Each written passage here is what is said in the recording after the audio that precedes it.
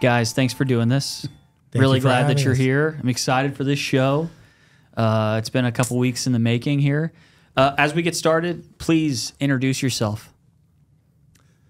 I'll go. My name is Travis Hupp, and I am the clinical director for milieu management here at Cumberland Heights.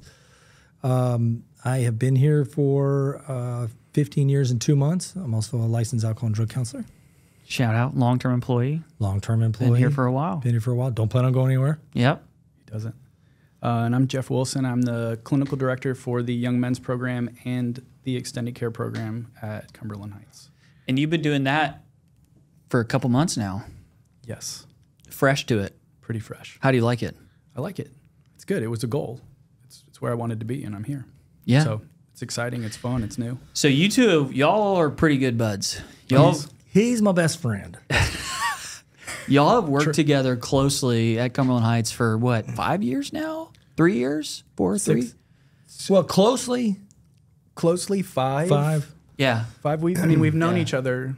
He worked here when I worked here, Yeah, but, but we had didn't get my- close until we came back. He says he has his eye on me, I but had I my. Him. He just took that from me. I had my eye on him for a long time. He was doing four step instruction. I heard a lot about him, and I was like, I'm going to get that dude. Come work with us. And this was when you were working for Stillwaters? No, no. So I was the team lead in the men's program, and Heath and Tyson grabbed me to go to Stillwaters, um, and so I went out there for a couple years. And but before I left, I was encouraged to go back to school, and Stillwaters and school works really well together. Yeah. Um, with four days off, and when I was getting close to my internship in my final semester, um, I saw a posting for a clinical associate in the young men's program, and I called Travis, and it was just the most logical. Who was thing to director do. at the time? Was director at the time, and I called him and I said I'd like to take a position in the young men's program, which is somehow transformed into he picked me. Um, but I definitely think I uh, asked to join the team. Um, but I think it was a good choice for both of us, Yeah. um, and it's proven to be pretty rewarding, uh, professionally, but personally. Um, he is my bud. It was simultaneous. I, I was looking for at him for that, and we made it work. Yeah, you probably got with IT and like had them send the notice like to his email and made Yeah. it look like, you Right. know, it was everybody. Well, it was a bi- actually, it was a big move for him because it was kind of a step back, but it was also kind of a step forward because of the ability to get some clinical hours. So Right. it was kind of a step back in the role, but it was like one step back for five steps forward. Yeah. Well, I'd say it's worked because from my experience, you know, I've been here at Cumberland for five years in August next month, which is wow, it's flown by. And I've gotten to know y'all. Yeah. Yeah. Ah, Wild, right? I've gotten to know you two Yeah. really well and see firsthand just the quality of the work um, and your ability to create an atmosphere of recovery for the young men Yeah. and the extended care patients that choose Cumberland Heights for those solutions in their life. And um, just my hats off to you. I, I have a lot of respect for y'all's ability to create those spaces. thank you. Yeah. Yeah. Thanks. I knew when I I came here in 2008. I was um, I was living in Lexington and I had been sober for a couple years and I was working at a I was working for a jail uh, in a treatment wing, uh, and I came down here uh, to visit my mom who's been living here forever because I wanted my son to come visit uh, his grandma and I just came out here for because we had to go to Walmart, which is right down the road. I was like, I'm going to go down there and fill out an application. Basically, got hired on the spot, and I've been here ever since. I started in adolescent, which was something that I wasn't really um, familiar with, but I just like fell in love with that because working with these the, the adolescents uh, was very rewarding, and then um, just kind of moved into young men's, which was kind of my niche. So I really like that. Yeah. So I have a question for y'all. Yeah. What's it like? What's it like in your positions? Y'all are so involved in every really, you know, you're director of milieu management, which we could talk about what that means because that's actually new for Cumberland Heights, specifically River Road. You know, new director of the Young Men's Program and Extended Care. Y'all worked together for a long time, but y'all are so involved. The other day, Christina and I were uh, doing something in the courtyard actually with y'all, and there was a code blue called for a patient, and it was really cool to see everybody kind of just jump up, staff from all over the campus go to where this incident was happening with a patient. And so I've been thinking about how involved you guys are with daily census meetings, treatment plan reviews, everything from from case management, admissions, medical, and beyond. So, Mm-hmm. what's it like day to day working in a residential addiction treatment center? Well, there's a lot going on. I mean, you just, I, I don't know. I mean, I, I guess when you were when you started talking about that, what initially popped into my mind was that at least uh, for Travis and I both, I mean, we I didn't apply for a clinical director position at Cumberland Heights.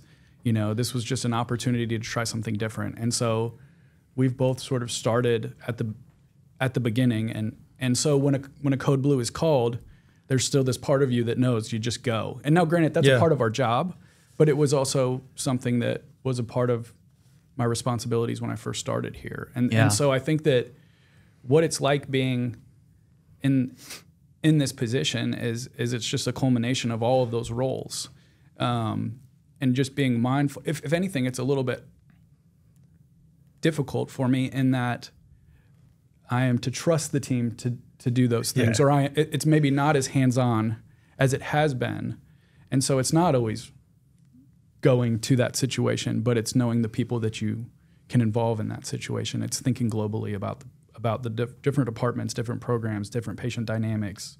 Um, but it but it is it's it's um, it's prioritizing and, and considering the, the best strategy and, and really who can, who can who is it that needs to be front lines for that situation and so for, for me as a new director i guess what i'm saying is that um, i'm learning how to step back which is new which is newer for me and um, be involved but be involved in a different way which does look like census and so more of the, the global meetings gathering that information and disseminating. Yeah, I would agree. And having said that, coming up from a CA to a CA team lead to a case manager, counselor, coordinator, director, coming up through all those roles, I take a little piece of each one of those things with me, even as I move on. Um, but first and foremost is patient care. So if there's like, if we hear a code, like especially a code blue, because that's rare, we know there's a patient in trouble. So it doesn't matter what we're doing, we got to go deal with that, regardless of what level we're at. Um, or like if there's a code red, like a fire or something. Um, now maybe some of the other things, but still, that's those are still pieces of what we do, um, and so they kind of transition to the next level or role. Yeah. I'm also curious for us to boil this down even further to what's it like for a patient here every day? Because I, I think uh, something that's been interesting about this show is we've gotten a fair amount of listeners that have nothing, they have no insight in treatment at all. You know, and maybe Oh, they've some introduced into behavioral health lightly. Maybe they're working in private practice, a family member. So it's interesting. Uh, I'm really used to this environment Yeah, you know, having been a former patient myself and worked at a couple facilities like this. So, from y'all's perspective, you know, what's it like? Well, I think the goal is to not disrupt their normal daily life as much as possible with them being in a residential setting, um, and and for them to feel comfortable. And for each person, it's different, you know, because I mean, detox is different for each um, drug, if it's alcohol or methamphetamines, or it, it- it's different. And, and so we initially try to make them as comfortable as possible. And I think on the front end, building rapport with the patient so they can trust us and, and believe in what we're doing is super important. Um, so we try to mimic a lot of real life situations. I mean, they still have to go to group, still have to handle stuff outside sometimes, which is our case managers do a great job with that, and mm-hmm. counselors do a great job with that. But we try to make it as comfortable as possible for them you know, they got good food, they got a good bed to sleep in. The safety piece is kind of first, so they feel safe. And and once we get them there, then they can kind of open up and talk to us a little bit about what's going on with them in their life. Not just the drugs, and the drugs and alcohol. I mean, they're doing drugs and alcohol for a reason. You know, that's we want to get to that, like what's really going on with you. Um, and if you, they don't trust you, they're not gonna they're not gonna open up. You know, so that, I think the safety of the patients and um, building trust is like the very first thing we kind of go with with them. Yeah, you know, I'm I'm thinking about how well you hear about the bubble all the time. You know, and and It's a microcosm. and I don't necessarily like the bubble because real things can happen while someone's in treatment, right? Right. And so there's this idea that well, someone is safer maybe in treatment for the for the most part than they are outside of treatment, you know. Um, and um, it's not a bubble, you know, and it's um, you know it's it's a it's a buffer maybe it's a place to be able to slow down. Or in some ways, a magnifying glass.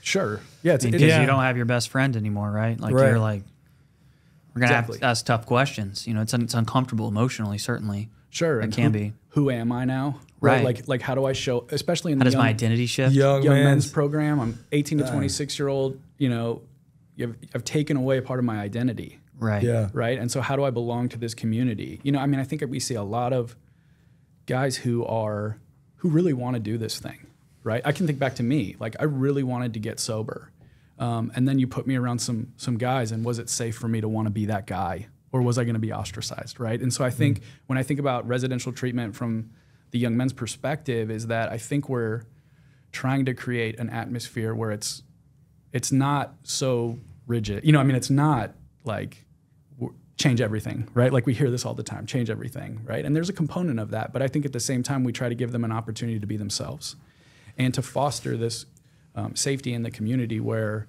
sure, we want them to be safe with us. I mean, I think that's a given, but how safe is it when we're not around. You know, what's it look like at the lunch table? Yeah. What's it look like in the cabin at night? Is it okay to, to go, hey man, I was struggling, I was craving today, or I've just been feeling down? Or this idea of going to Stillwaters or extended care after treatment and being away from my family, girlfriend, school, career for 30 more days is, is scary. Is it okay to bring that up or do I have to be, do I still have to play that role? And so I think that you know that's that's what I see. That's that's maybe what I see it looking like in residential treatment. And there's this thing that happens when we do it right. That's all you Yeah. And you can speak to it if you want. When we you know. get when we get a good group, man, it is when we got guys stepping up being leaders. We've created roles in our community, in young men's specifically. They have they have roles um, where they kind of have ownership in their community. You know, and we'll talk to them. The most important time to talk to them about the community is when the community is going good. Mm-hmm. You got to reinforce. You got to say, "Hey, man, you guys are doing good. You guys are doing good. Just keep this up. Let's keep." I'm almost like a coaching. I, I kind of come from that mm-hmm. that perspective. Is you got to keep this. up. One guy can come in here. We'll drop one guy in here, change the whole dynamic of the community. We don't want that to happen. You guys keep it up. You guys change his mindset instead of him changing yours. We want to keep this community going well, uh, and so like coaching them when things are going good. I know that whenever I was, whenever I had relapsed, it wasn't really when things were going bad for me. It was when things were going good. You know, I think I think I got this thing, and then next thing you know, s- life happens. Or life Sure. knocks on the door. But you know, I think that that piece when we have our community going well, we have our our um, mayor in the community holding these people accountable and holding their peers accountable, and everybody stepping up and identifying uh, character defects and shortcomings or whatever or incidents in the community. It's it's great. It's a wonderful thing to see. You know, um, that that's what gets me fired up. You know, because you have a whole group of these young men, you know, wanting to change their lives and taking direction. It's it's great. it's contagious. It's contagious. Reminds me of Stillwaters. Sure. Yeah, You exactly. know, like the commitment that that community has to, and we, we use words like accountability. I want to be careful because, like, I think to us, to me, it makes a lot of sense, you know, but Yeah, right. sometimes I worried about like the rigidity of that Yeah, yeah. word, kind of like, you know, some lesson that your uncle taught you when you were five that you never forget. Right. Right, You know, yeah. Shane? Um, but really, it's love. Yeah. You know, loving each other as kind of strangers because I met you three weeks ago or, or, Sure. or six weeks ago or whatever to say, hey, like, I'm worried about you. Mm-hmm. And like, you know, kind of beginning to grease those wheels of even having experience to have those conversations. Right. Because I think y'all would say these guys, for the most part, don't have those type of conversations with each other. Period. Sure. And that's not a. It's not a. It's not a male thing. It's not a a, a, a woman thing. You know. Yeah. Not, that, that's Mm-hmm. not. That's not unique to any one individual, right? That's just the Sure. human condition of I'm going to protect myself because I'm scared or I'm lonely or whatever's happening within me. So, um, it sounds like an exciting environment to fan the flame Sure. of early recovery. Yeah.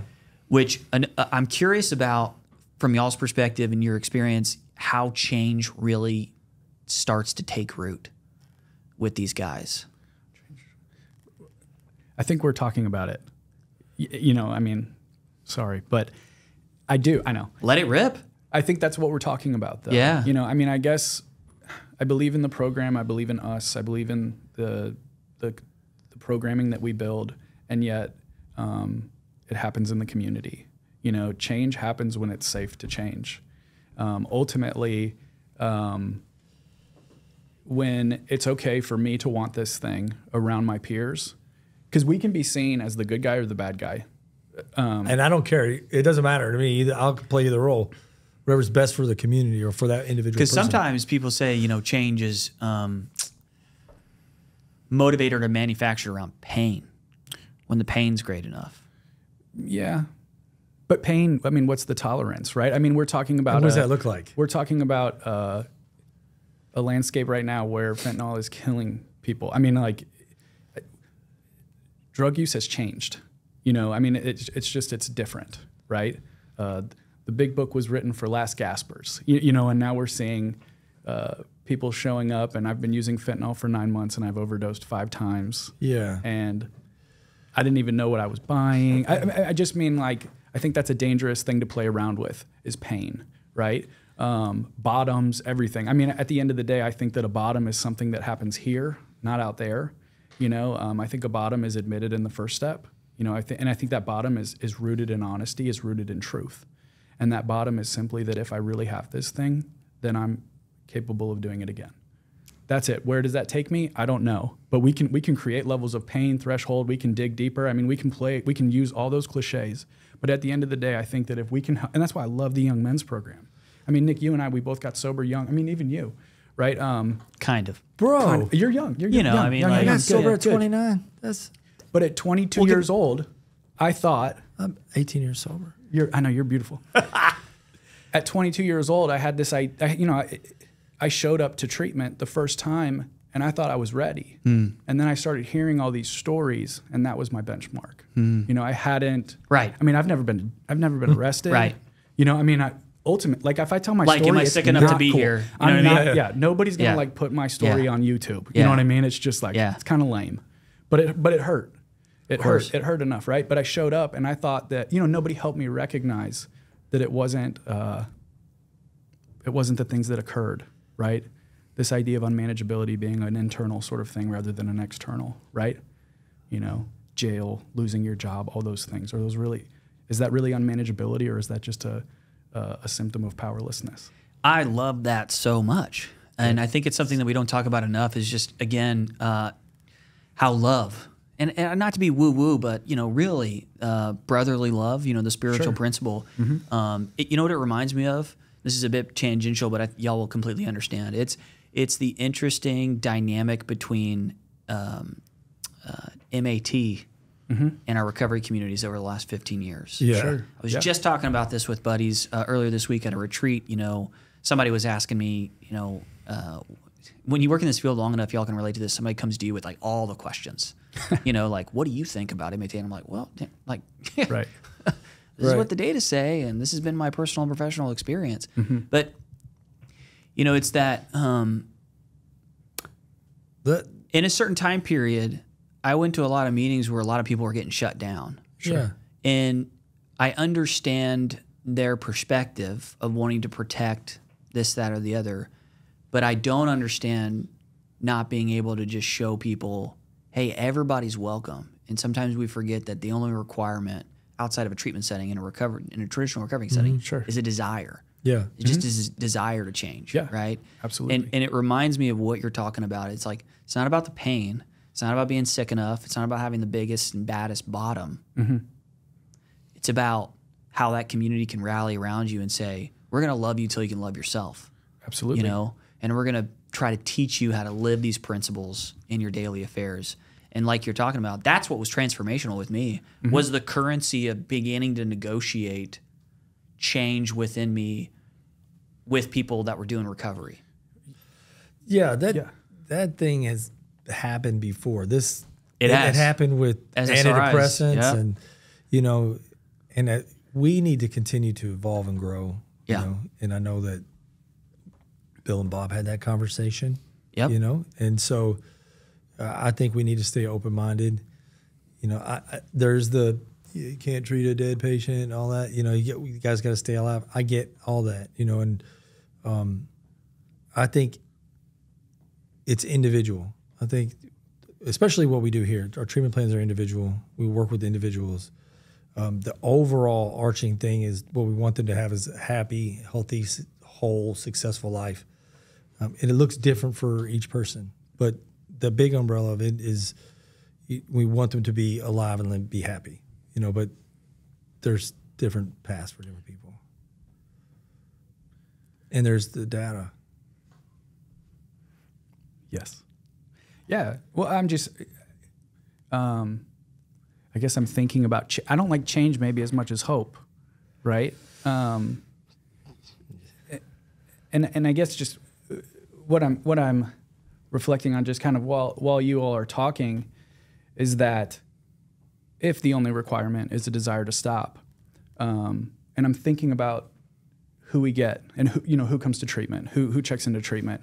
Oftentimes, someone does not admit to treatment um, abstinent, right? They're under the influence, and the and and uh, my my experience, you know, working with others and personally, is that um, at the end of this thing, all that drugs and alcohol do for me is help me see that I can't use drugs and alcohol anymore. So I have this extreme desire to stop, and then the next day when I wake up without that power, let's say, and I'm utterly powerless, I don't have enough courage to even recognize that I can't do this, right? Yeah. And so, so um, what I need is that community. What I need is hope, right? And and and I think that that hope comes from the guy who maybe comes to my bed at medical and says, "What's up, man? Yep. Yeah, Uh, my name's Jeff. I've been here for 13 days. Do you know where the lunchroom is? Let's let's go get something to eat.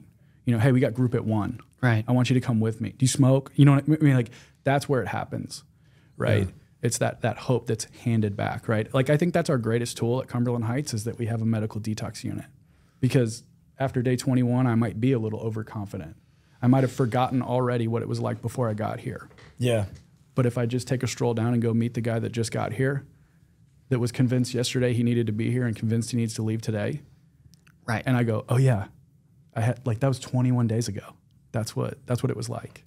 You know, that's a and, and again, that's a that's from someone else. It's it's always going to have to involve that other person. we're quick forgetters. I, yeah, we are, and it, it sort of reminds me of um, there's a moment in recovery, I think, for for a lot of people when we stop running away from the behavior, we stop running away from the habit, we stop running away from the drugs and alcohol, we start running towards recovery. Right. Sure.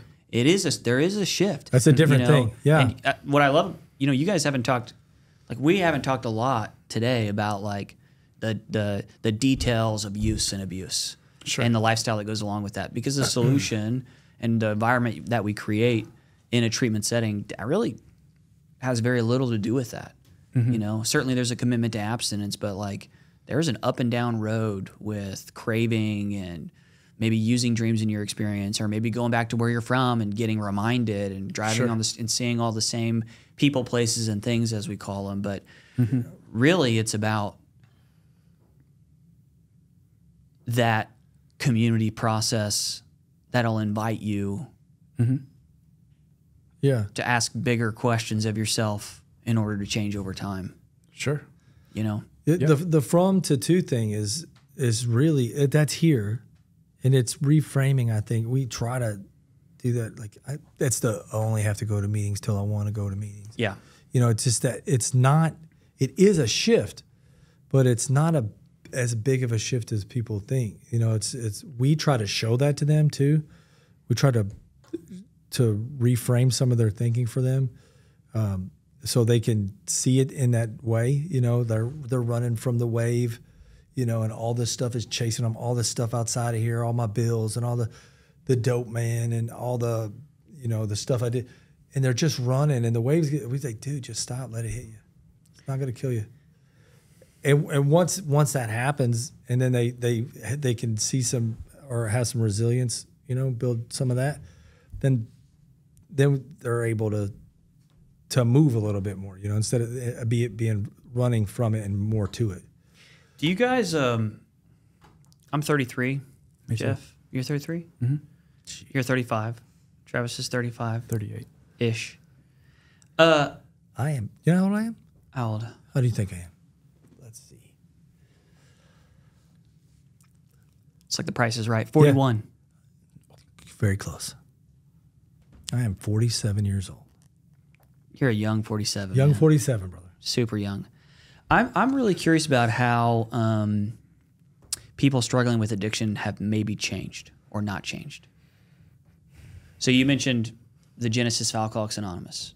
Yeah. Like this place, we just celebrated Founders Day on the 25th, right? 57 years started with three male patients treating quote alcoholism, treating addiction, right? But um, and then I remember coming to Cumberland Heights uh, as a patient here 13 years ago, and the commonalities of my story with other people, specifically related to opioids. And now there's this thing, fentanyl, Sure. Yeah. right? That we end up talking about a lot because a lot of our patients are really experiencing the negative effects of that really awful, tragic drug. Yeah. Um, And then we're starting to, the Young Men's program also starting to treat a different generation, Sure. you know, no more millennials, right? Yeah. So, do you guys have any interesting insights about that change? I know Travis does. He's he loves He loves this to topic. talk about this. He has a PowerPoint and everything. I actually do. I know you do. I do have on. Um, well, it's not my PowerPoint, but it's one I saw at a training that I loved. It was talking about gen, like the change in generation. Um, yeah, it's. I don't. Yeah, I, I hear. I I can sense you're not wanting to be. Uh, I want to be kind and loving, yeah, but there's a there's a, a, a laziness or a lack of motivation in the uh, the the generation. In in a lot of things, um, there's um, it's anhedonic. Ana, is that a word? Anhedonia. It's like an, it's like they cease, but anhedonic itself. I don't know if that's word. I just made that up. It's anhedonia esque. DSM five. What? We're gonna put in the DSM. That's fine. Put in the five. Like I say, um, they they just like when I was coming up, it was like I can't wait to get my driver's license. I can't wait to turn eighteen and move out. There's not a lot of that oomph in in this generation now. Um, it's everybody wants to be a YouTube star and make millions of dollars doing that, and don't want to don't want to work like they don't want to have like a they don't want to go to school, college, which is where the which is one of the my favorite things about working with young men was getting involved with collegiate recovery. yeah. It's it's just a lack of motivation. Uh, not everybody, but it's a, it's a lot more than it used to be, and I don't know if it's um, I don't know why that is. Is it just the, world itself? Is it the drugs? Is it the change in substances? Because I think it's not just um, people that suffer from alcohol and drug addiction. Um, but then you have um, stop. That's just what I, I've seen. It's it's it is um, it's a struggle. Yeah. I also have a Let me just say sixteen. this. I have a This sixteen year old seems kid. like a really hard question, it is. Yeah. Well, because I'm which trying to is be, why we're going to stay on it. Well, and I guess I would I'm just trying to say be nice. I have a different okay. perspective than that, and maybe it's just that Yeah, let it rip. I don't I don't know. Um, that Travis is 35 and I'm 33. Um, but for me, what I think that I see i- i- more characteristic um, is just simply that social media takes a much larger. It's it's much more important to in these individuals' I lives. agree. Um, and and a lot of life happens on a phone um, than when I was growing up, than when your generation was growing up. Then I mean, I just think that more and more is happening in front of a screen, Yeah. which we can get weird. And Andrew Huberman, the effects of whatever I don't even know how to talk about, but like looking at a screen right when you wake up and all of. I mean, it's just you know. So there's probably something that speaks to that, but I think that that that there's also like if I was getting picked on at school when I got off at the bus, that wasn't coming with me. nowadays it's it's again it's right here in front of me. That's really interesting. and so All I the time. think that there is a- That's an really increase of mental health that's occurring. You know, like, and again, you know, I can't speak to it in any way that's. Um, what I just mean is, I would I feel like we're seeing our young men's population show up with. I mean, everyone seems to have depression, anxiety, and of course, these things correlate with mm-hmm. substance use disorder. But I just feel that it is at a higher level, and it's it's maybe a little bit different depression and anxiety than we're talking about, just because it's right there in my pocket. It's just I'm constantly It's hard to have a safe with- space yes when it's sure all the time. I remember uh, leaving treatment and turning my phone back on Sure. Yeah. and just like, you know. oh that's what I, yours did. I- well, see, I was gonna say I, had I, like to pretend that it like I had hundred notifications, Yeah. but I had maybe like three or. I had one voicemail and it was from my mom asking if my phone was turned back on. And it was like three months prior. But I went to sober living and didn't have a phone either. For uh, I had, didn't have a phone for like Well, ten months. you know, this was 2010, so like wherever social media was there, it wasn't where it is now. Certainly, Sure. Um, I mean, some many of the platforms didn't even exist. Some were just getting kicked off. But I remember feeling the pull. Mm-hmm. That's what I'll say. I remember feeling this Yeah. pull Mm-hmm. toward notifications. This pull toward Sure. you know.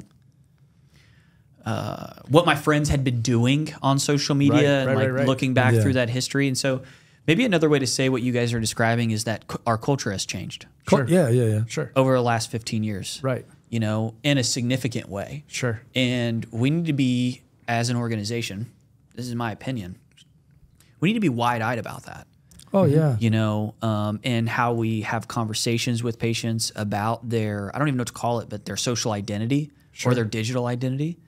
Um, we need to be wide eyed with the risks because, you know, the risk for a patient that we're all very familiar with is the day you leave.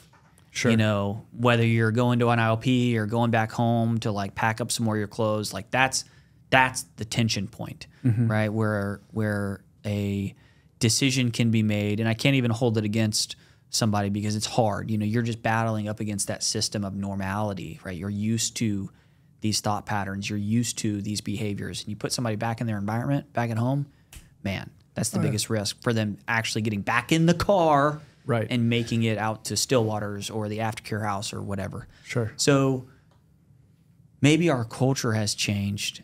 And how are we, eh, through y'all's eyes, adapting our programming and our discussions with our patients to make sure that we're decreasing that risk of their social identity while they're here?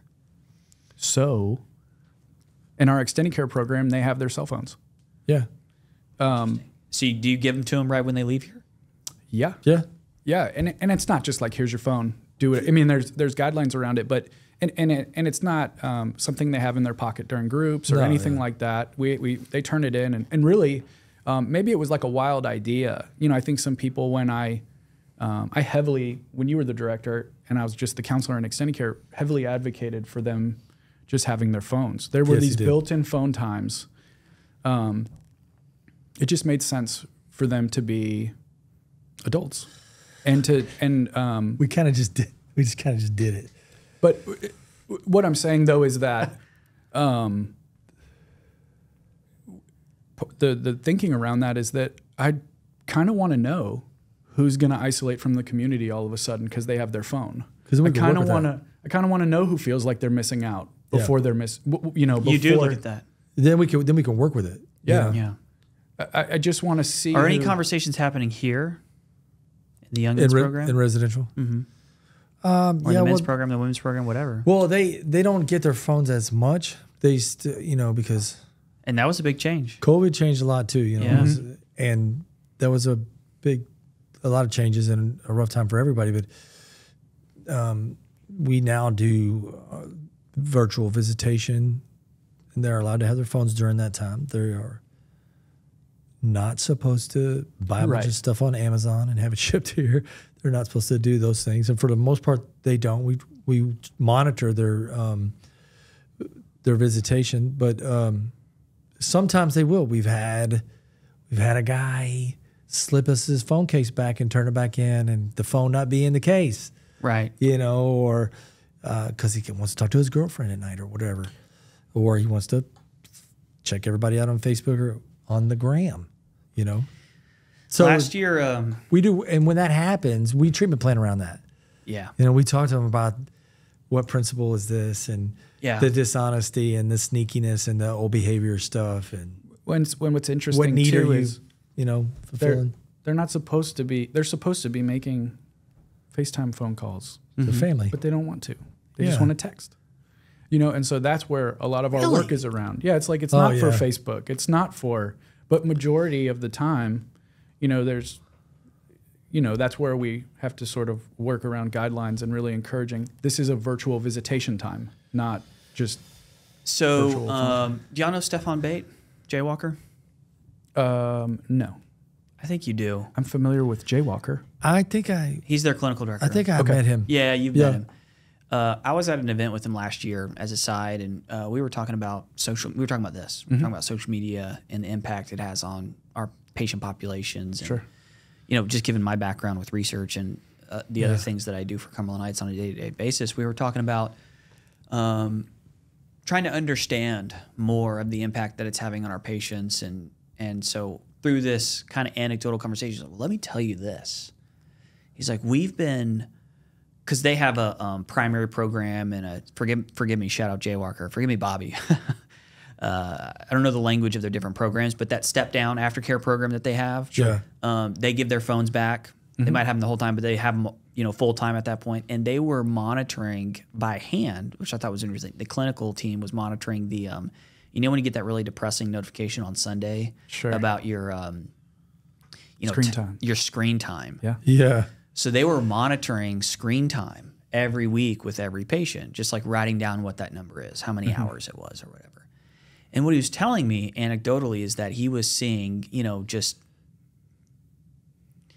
a case at a time, if you will, uh, that the guys that were isolating and had these really exponential screen time numbers were doing worse in the community than those with not Yeah, I can see that. Yeah. Which kind of is like, well, of, course, Yeah. of course it would be that way, but it is kind of a monumental idea uh, to think about how to support people in this new culture that we live in through having direct conversations about, hey, does everybody realize how they feel sometimes when they log onto Instagram? Right. and you see somebody else getting engaged Yeah. on a beach Oh, somewhere yeah. with no shoes or whatever? In Hawaii. or uh, like you know sitting courtside Okay. at Yeah. a Grizzlies game or who, who cares fill in the blank for you but it has a large yeah. s- pull on our lives even just likes. I mean, you know, just the the feel good that comes from how many people like like me. Yeah. Right. I mean, like that's really what it's saying. You know, and but but yeah, I I agree that i think we need to be having more conversations with our patients about it to Agreed. be frank. We Well- can't just take it away right. and then just give it back. right. You know, and because and we're talking about life skills about changing your phone numbers Yeah, but to your rec- drug dealer and all this kind of stuff. It's like- recovery recovery is about is about this. Mm-hmm. and it's and and everyone here you know it's about it's about that. absolutely. But as soon as i as soon as i pick that thing up it's about this. And all that goes away. Absolutely. All that goes away from me and then i'm i'm here.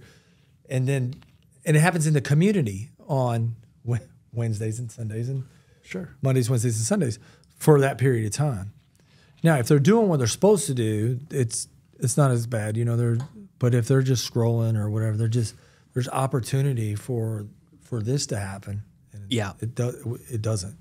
and learning to well again it's a it's a tool we all use it as a tool and and so i mean as much as it can isolate it can also connect me to my sponsor on a regular basis that person True. i'm texting uh, you, you know again so how can we reframe that it's it's not because again even the data that we see the individual in the community who has more screen more screen time is more isolated usually struggling again how can we flip that screen time and use it to our advantage right? Um, like in extended care, we I want them to have their phone so that when you call, you know, when I was in treatment, if I called my sponsor and he didn't answer, he couldn't call me back. Right You know, leave Right. a message. We're doing messages back and forth, and I already don't know how to do this, so I'm like, "Hey, uh, it's me, Jeff. Everything is good, I think, and um, I completed my. You know, I don't know what I'm. I don't know, but I get to have this more this more real experience with um, that. We've had guys in extended care whose sponsor introduces them to the sponsor tr- sponsee tree, and they all send a 10 and 11 step at night, and they get added to it, and so they're already connected to seven guys who are checking in, Yeah. And they cr- and so all of a sudden we've already put out these these these um, you know their their community is growing, and and so again I think we've been talking about community, and this tool right can be used to either keep me keep me away, or it can also be used as a way to help me embrace this process. you Yeah, know?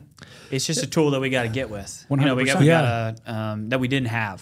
Well, You know, so when it's I- been interesting to see how our programs have just kind of adapted Mm-hmm. uh, midair. When I saw all those people that went Yeah. on that alumni uh, trip, the canoe, the canoe trip, Yeah, I was like, dang, yeah. Oh man, I wish I would have went to that. yeah, You know, so that's that makes me think next time. You know what? Yeah. Next time I'm gonna go to that. You know, Yeah. I'm gonna.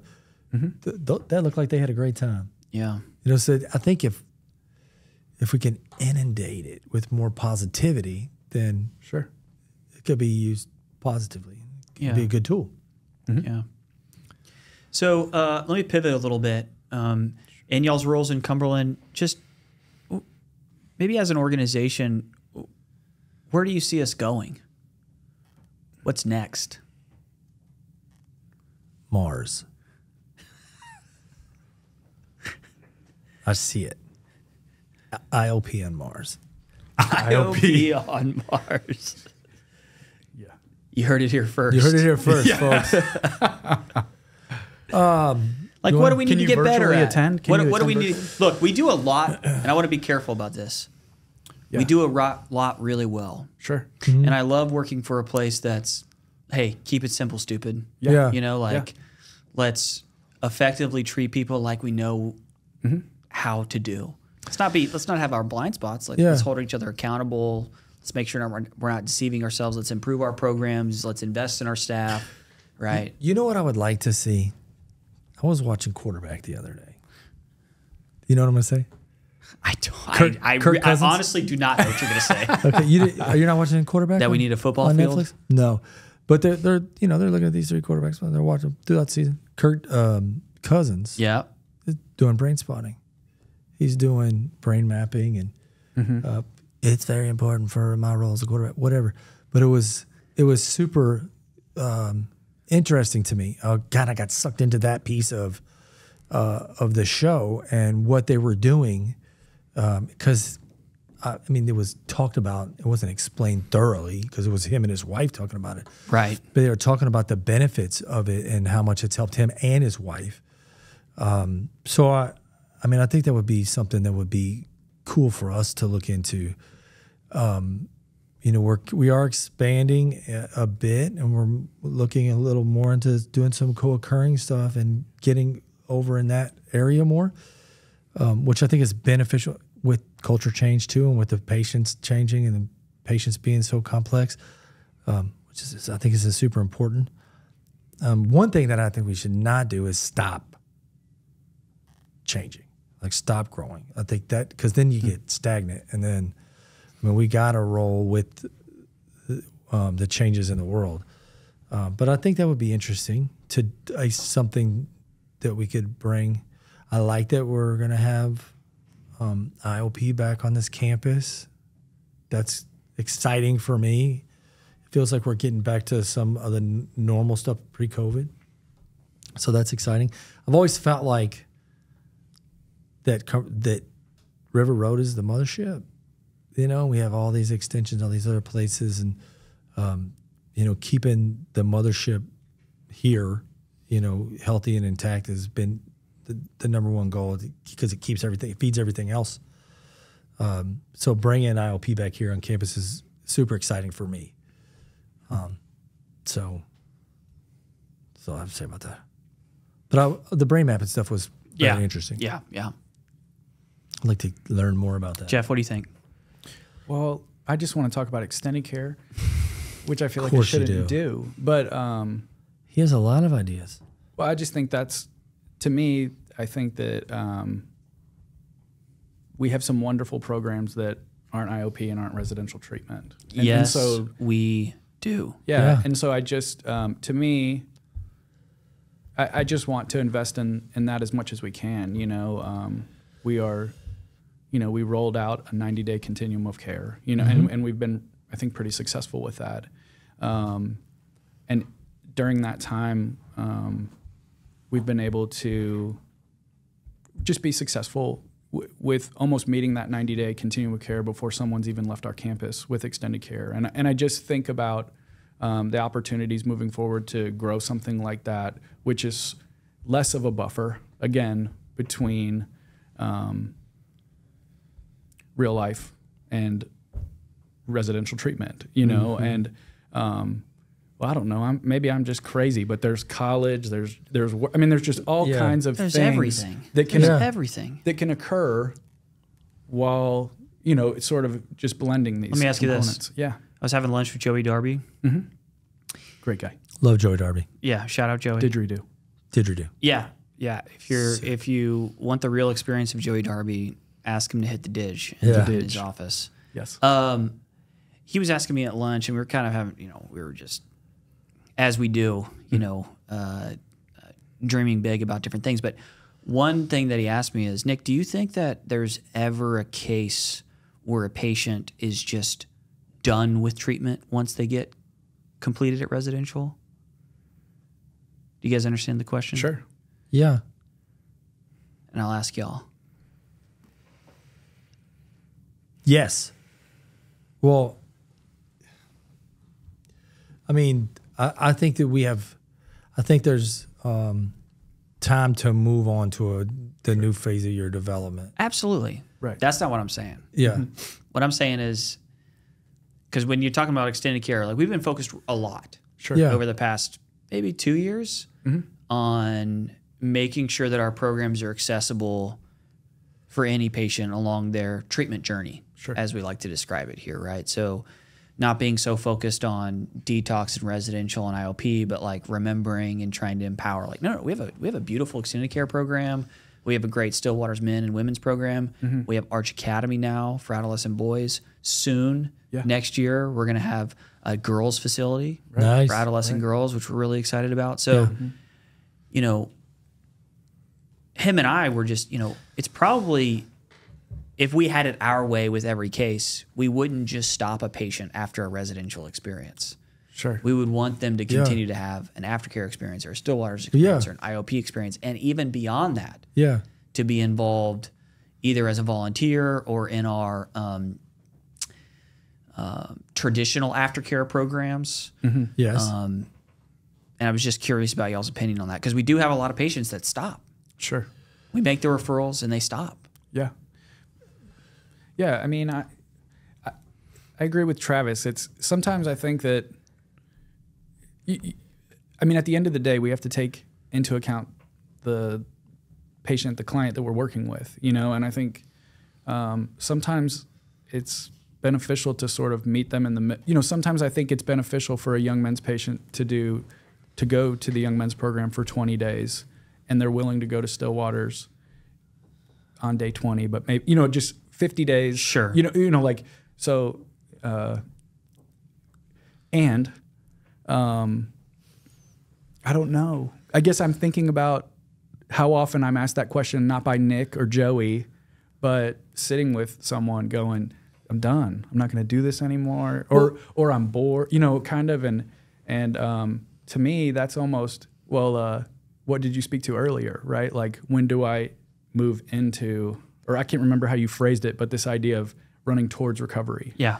like that's where I think it's um, it's not just I'm you're either right one or the other, and so I think the work continues regardless, no matter what. Now, what that works lo- looks like, I think is that's where we get to get creative. There also is a there's a threshold of when you you leave treatment and enter recovery. You know, it's it's not like I'm a recovering person. I'm not in treatment, but I'm still in recovery. So I'm con- I continue to do things and probably will continue to do things for my recovery and in my recovery for the rest of my life. But I'm no longer in treatment. You know, um, I have a sense of obligation to give back to people that are still trying to get out of that for me because I was given a gift. you know, and a part of that, part of that is Cumberland Heights itself. Why I still work here, um, because I am a recovering addict. I am a convicted felon. I am all the that drug addict guy that that got sober and got his life together. And Cumberland Heights gave me an opportunity that a lot of people would not have given me. And I have a sense of I owe I owe Cumberland Heights something for that too. You know, they um, when when I was two years sober, uh, it still wasn't. You know, it's still not. You know, there's. I still I still get crazy sometimes, you know, but Never, Just then? Okay, got it. you know what I mean. never seen it. Yeah, I do know what you mean. Um, but you know, I still uh, I feel like I owe an obligation to Cumberland Heights for doing that. I still like I owe Alcoholics Anonymous and 12 Step Recovery for giving me a life that I never thought I could have. You know, I've been married to the same woman, for, God, uh, bless her, for you know Shout out to Gigi. yeah, for 17 years. And my kids, my son's 16 years old, never seen me take a drink. My, my daughter's 10 years old, never seen me take a drink or use drugs. You know, so I, I have a sense of obligation to the people that helped me to give back. You know, and so I don't think I'll, yeah, yeah, I'm, I'm done with treatment. I'm not in treatment anymore. Well, I work in treatment, so I'm in treatment every day, but, but I'll be in recovery for the rest of my life. You know, I, that's, I don't know if that answers your question, but Absolutely. yeah. What do you guys struggle with the most?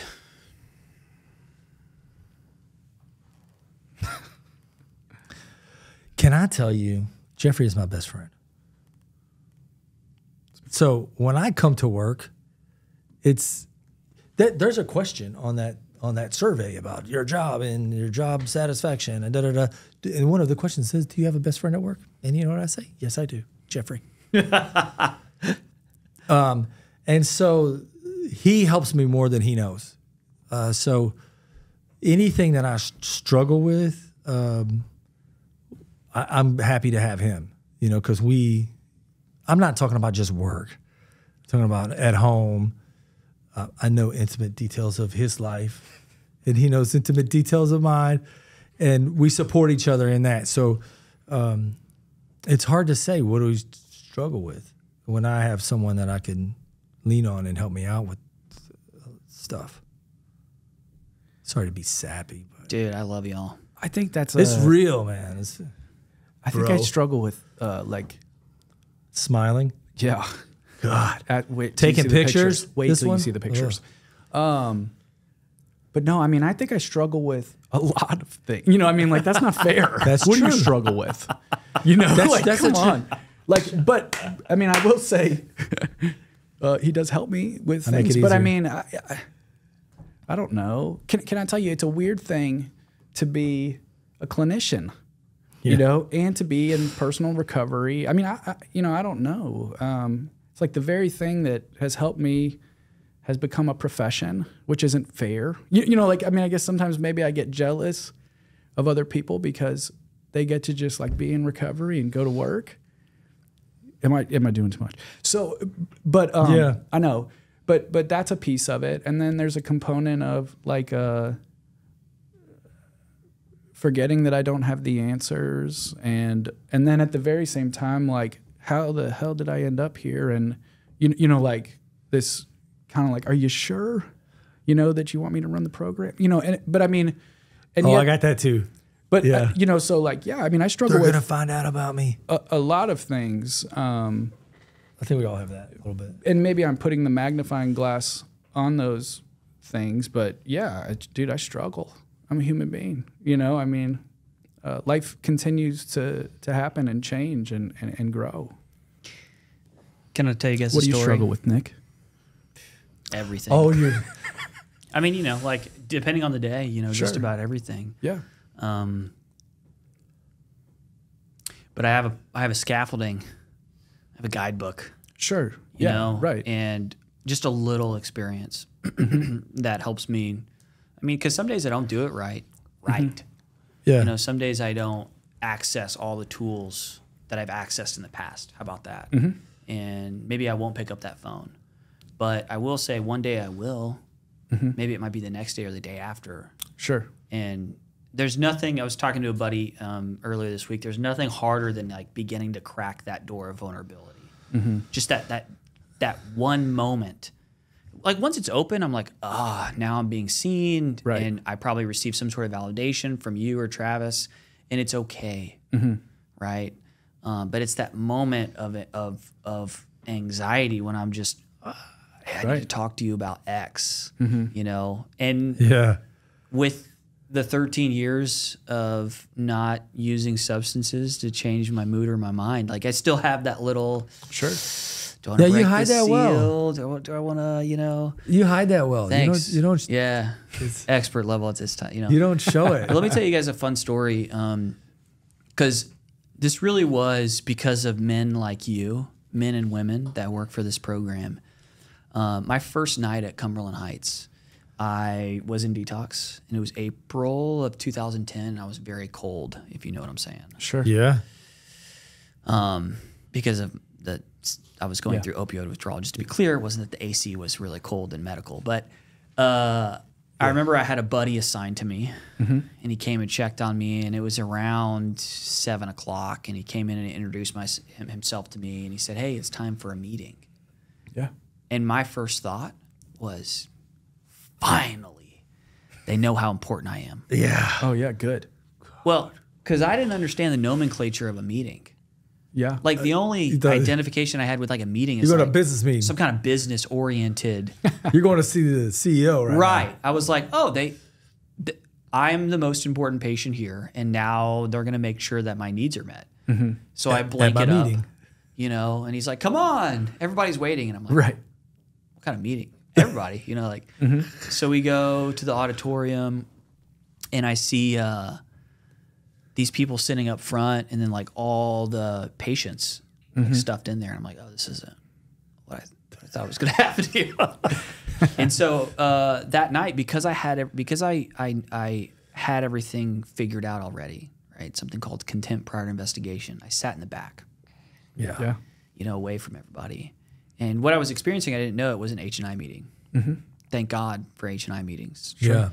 And um, the meeting started, and you guys know how it goes. You know, the first volunteer shares, and I wasn't impressed. you know what I mean? Kind of Yeah. just Sure. like, who is this? This guy? The second lady shared, third, fourth, 5th And by the end of it, I knew two things.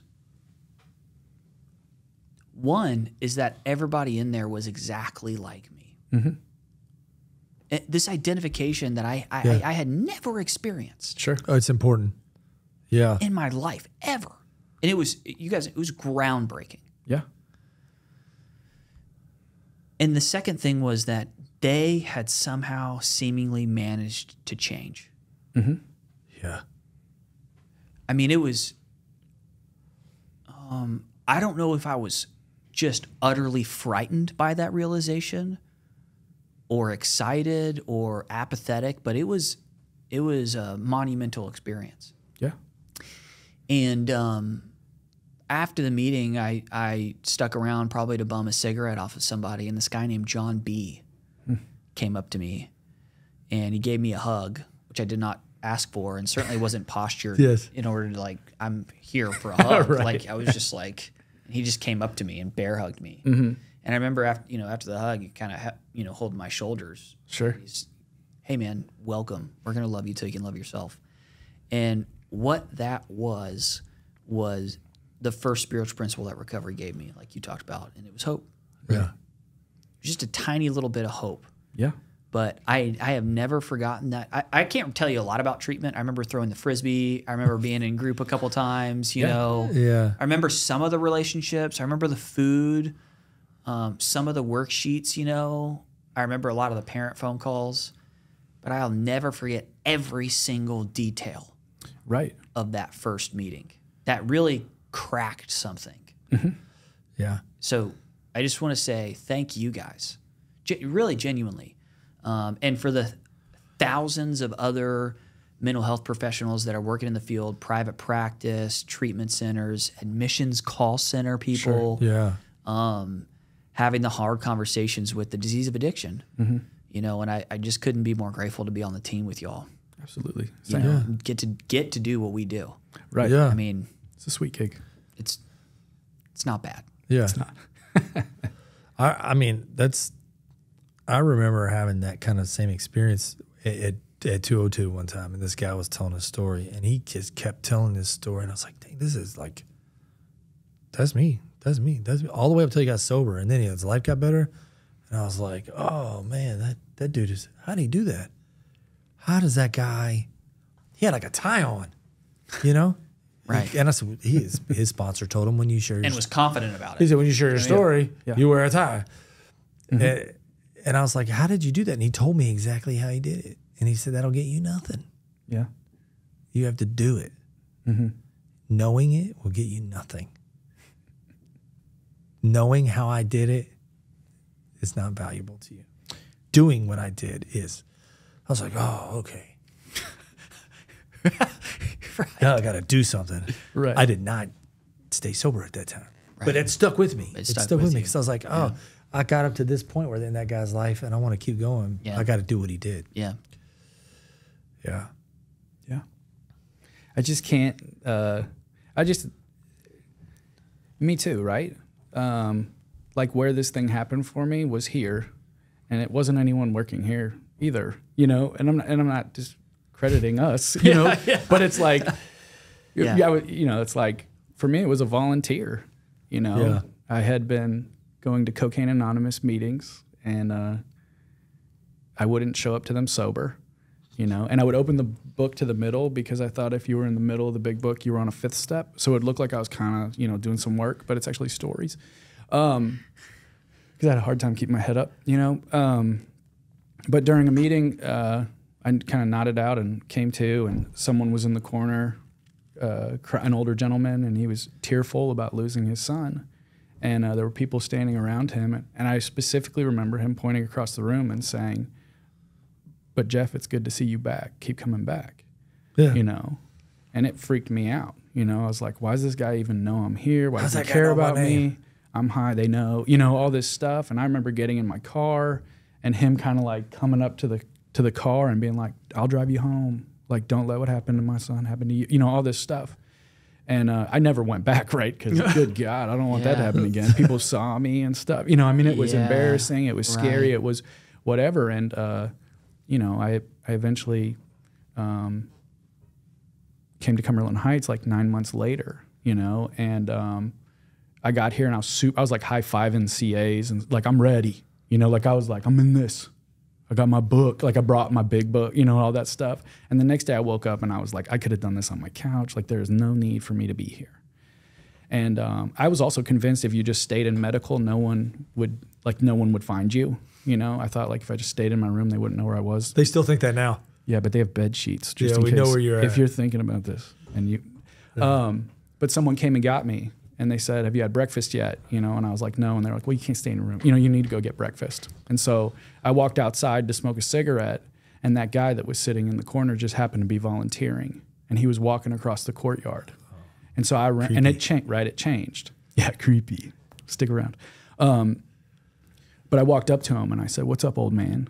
You know, and he said, "About time you showed up. Have you had breakfast?" And I said, "No." You know, and he said, "Let's go eat." And he sat down, and that man became my sponsor. Um, that man gave me the greatest truth, you know, of probably anything I've ever been given in recovery.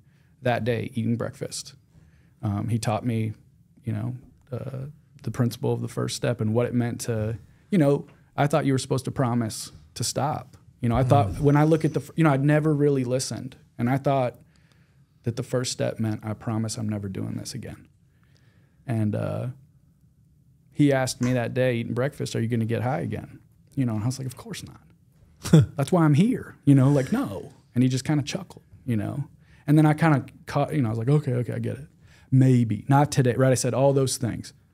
Tomorrow, you know, I, every everything I had learned, right, which had not worked for me, and he told me to ask him, and I asked him, and he said, "Yes, left to my own devices, I will get high again." And he asked me what a crane operator does. You know, he said operates a crane. What's an alcoholic do? What's a drug addict do? Yeah. Drinks. He said, "Are you an alcoholic?" I said, "Yeah." He said, "Are you going to drink again?" And I said, "Yes." And it was like a weight had been lifted off of me.